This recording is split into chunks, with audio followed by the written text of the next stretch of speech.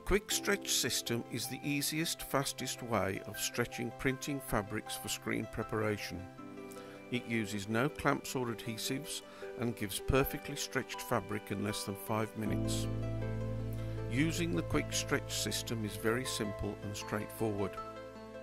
First, cut a piece of fabric to suit the frame. This should be 300mm longer and wider than the internal dimensions of the frame.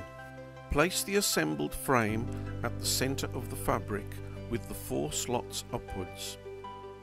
If placed correctly, there will be 110mm of fabric showing all the way around the frame. Next, we must attach the fabric to the frame. Starting from one of the long sides, wrap the fabric over the frame and lock it into position using one of the locking profiles. Note that the slot in the locking profile must always be towards the inside of the frame. Do the same with the opposite side. Repeat the process for the other two sides.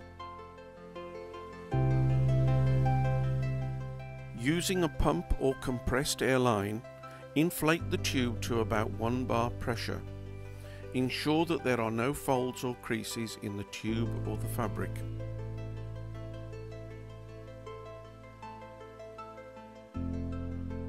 Turn the frame over and check the fabric tension.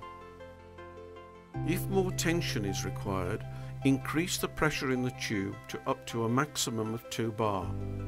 Your screen fabric is now ready for use in a fraction of the time it would have taken with a conventional stretcher and adhesives. This is the Kwik Stretch System, the easiest fastest way of stretching polyester or stainless steel fabric for all types of screens.